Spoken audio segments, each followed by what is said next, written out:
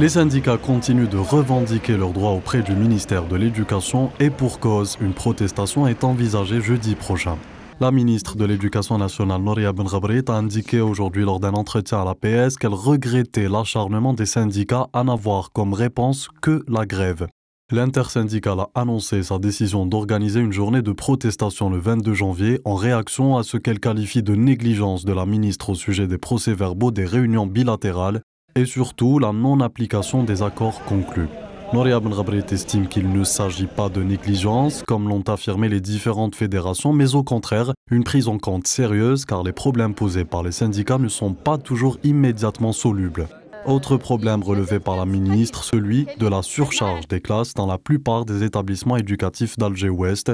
Elle confirme son engagement à prendre en considération tous les dysfonctionnements qui se sont produits au cours des années précédentes la surcharge des classes notamment, tout en ajoutant la situation socio-professionnelle des fonctionnements de l'éducation nationale s'est nettement améliorée après 2008, mais cette amélioration a induit des aspirations et des exigences nouvelles qui imposent des priorisations.